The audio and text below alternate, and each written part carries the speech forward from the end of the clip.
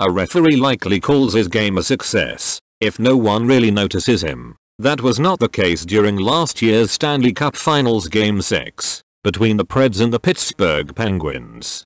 In the second period of that game, Preds forward Colton Sissons thought he had scored the game's tying goal. Filip Forsberg fired a shot from the slot and Colton Sissons was there to put away the rebound.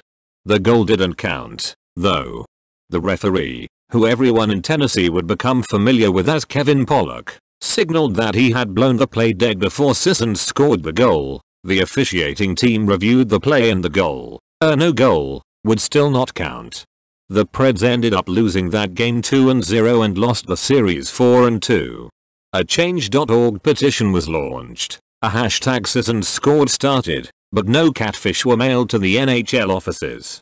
Pollock makes his return to Bridgestone Arena for Game 5 against the Avalanche. The stakes are not nearly as high tonight, but taking a goal away from a team in the playoffs obviously never sits well with fans. Pollock officiated four games for the Predators in the regular season. The team went 3 and 1 in those games. Here's to hoping there are no goal reviews that go against the Preds tonight. We're sure Kevin Pollock intends to the blow the whistle a lot tonight, but maybe give it another half second when the Avs goalie makes a save.